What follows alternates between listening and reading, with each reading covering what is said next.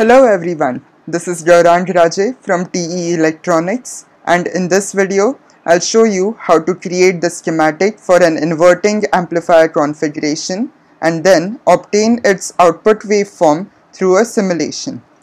So for this um, I'll be using eSim software on a Windows virtual machine. To start with, click on the shortcut icon for the eSim software. So once eSim is open, you'll get this window. To create a new project here, you click on this icon on the top menu bar and name your project. Remember that your project name shouldn't have any spaces in it. Now to start creating the schematic, click on the project title and then click on the first icon on the vertical menu bar. So in this workspace, you can use your mouse scroll wheel to zoom in or out to start with inverting amplifier configuration, we'll place the op-amp. For that, click on the place component icon, then click on your workspace. I'll be using the 741 model which is located in the eSim sub-circuits folder. So, type in either the folder name or directly the model name in the text box. Once you have selected your component, click on OK and then click on the word space to place the component. To place the resistor, click on the word space again, type in resistor. Once you have your component again, click on OK. Click on the word space to place the resistor. Here you can also press the R key to rotate the resistor in any orientation. I'll place other resistors as well. Now to place a alternating voltage source you have the place components option then click on your workspace again and this time type in sine. You'll also need the rail voltages which are DC sources. For that type in DC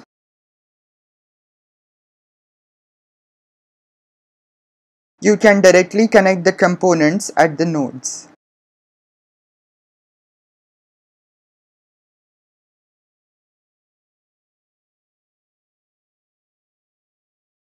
Now to place the ground nodes, you select this icon, click on it and then click on your workspace. Type in GND in the text box, then click on OK.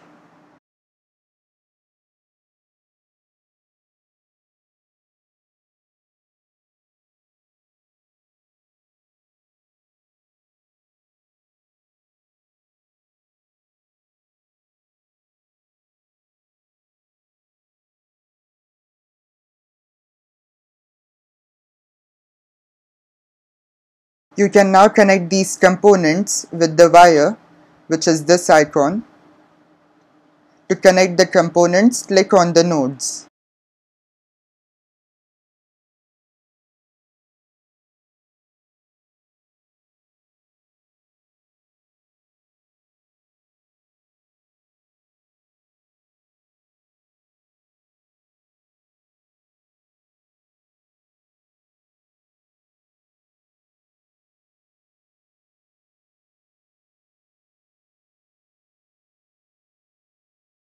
When connecting two wires, you should get a node like this indicating a proper connection.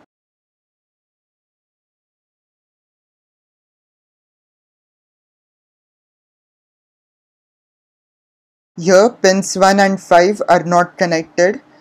So to complete the node connection process, you click on this component and then add it to pins 1 and 5. Now finally to set the values of the components, hover your cursor over a component and then press V. In the text box, delete the name of the component and type in the value.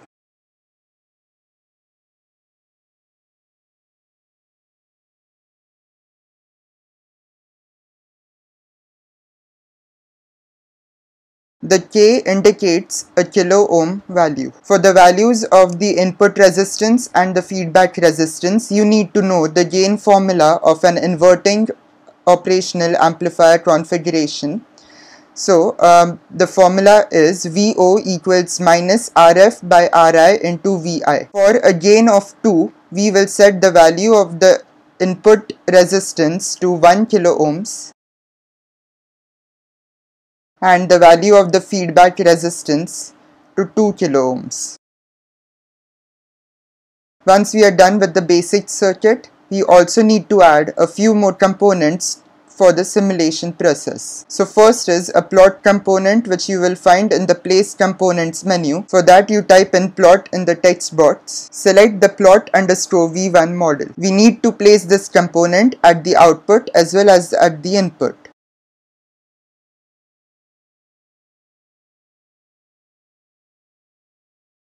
Connect these components with a wire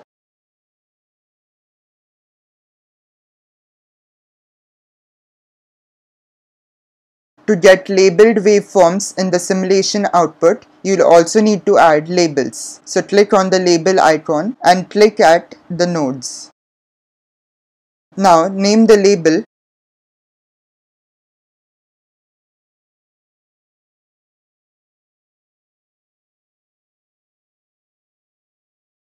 Now you are done with the circuit. To compile this circuit, we first need to go to the tools, then annotate the schematic click on annotate and click on OK. Next, click on tools again and go to the electrical rules checker option. Click on run. Now the only errors that it has thrown to us is a conflict problem and global label not connected problem.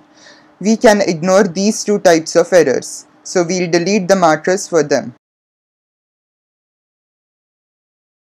Then we go to tools again and then generate a netlist file. In this you need to go to the spice option and select the default format and then click on generate. Click on save. Now we are completely done with the schematic. Next we can go to the main page of eSim. Here select, uh, select the project, right click on it and click on refresh. Next, go to the KING icon to convert it into an ngSpice model. Here we can enter the transient values of the alternating voltage source since we didn't give it any values in the schematic. So first um, I'll have the runtime of the whole waveform. The start time I'll set as 0, step time as 10 milliseconds and stop time as 1 second.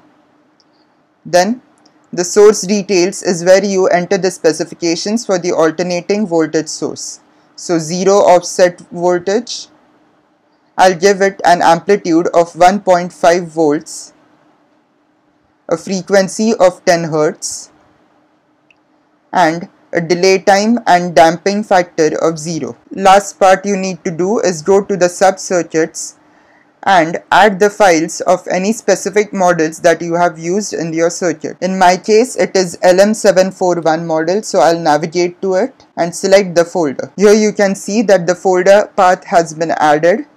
Now you can convert it into an ngSpice model. So the conversion is successful.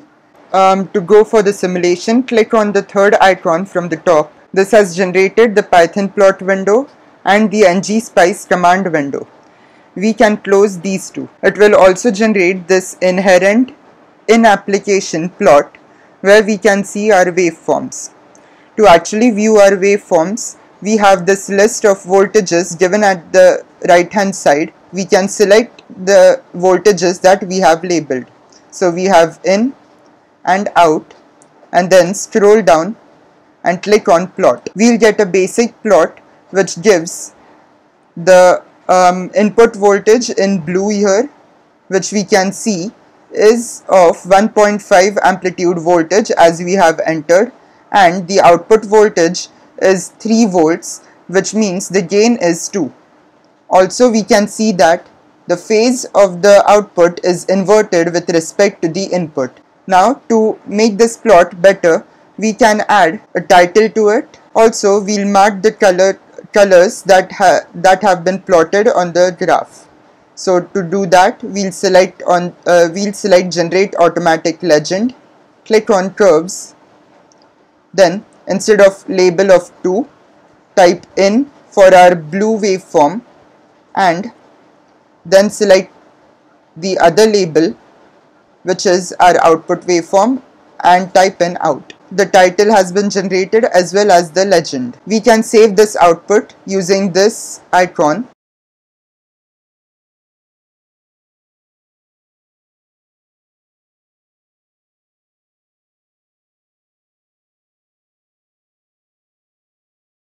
and the output will be saved. In a similar manner, as we have um, created an inverting amplifier schematic, you can also create a non-inverting amplifier schematic. In this case though, um, the formula for output voltage is different. It is given by VO equals 1 plus RF by RI into VI. So for a gain of 2, we need to modulate the resistor values accordingly. In this case, both will be equal given as 1K.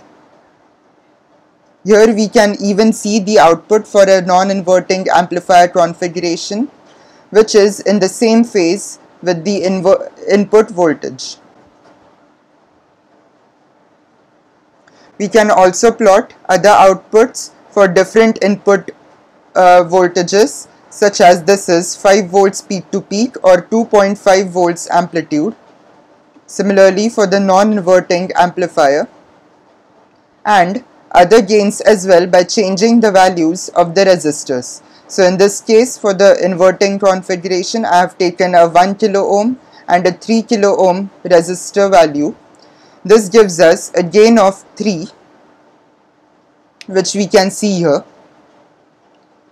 as well as in the non-inverting amplifier configuration we get a similar output with a gain of 3. Now to note that when the output voltage exceeds the rail voltage or the saturation voltage we get a clipping of the output waveform.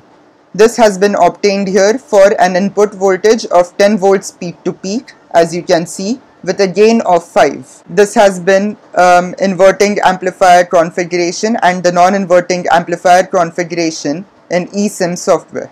Thank you.